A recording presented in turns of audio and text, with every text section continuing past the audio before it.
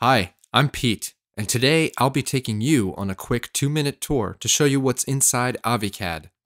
AviCAD is a complete 2D and 3D CAD application with an interface very similar to AutoCAD full version.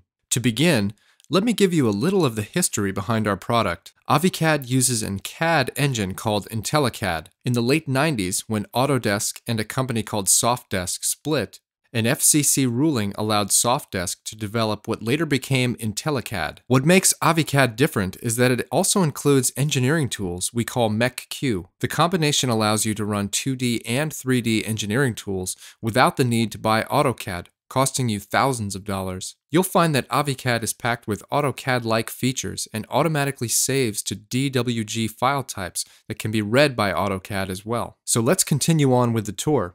You can see on the right side we have our Properties palette. Then our snap settings and other command shortcuts are to the lower right. You can create aliases just like in AutoCAD.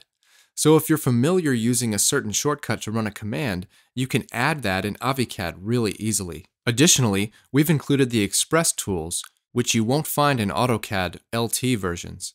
We also supply a 2D 3D architectural add-on with a window, door, and even a roof tool. Let me show you the 3D side of AviCAD real quick by creating a flange and pipe and then rendering it. It's real easy. We just pick and choose what we need and our tools do the rest. But I think you'll agree, with AviCAD costing one eighth of the price of 2D 3D AutoCAD, this is a no-brainer. In just a couple of seconds, we can render to create a more realistic drawing.